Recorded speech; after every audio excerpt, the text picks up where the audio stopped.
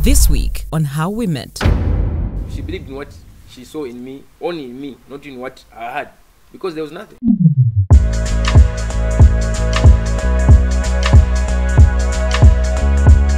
Me, I, I don't call this a cup. Me, I call this a team.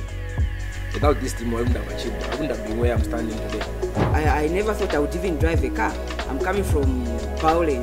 If she wasn't there for me, I wouldn't be standing where I'm standing.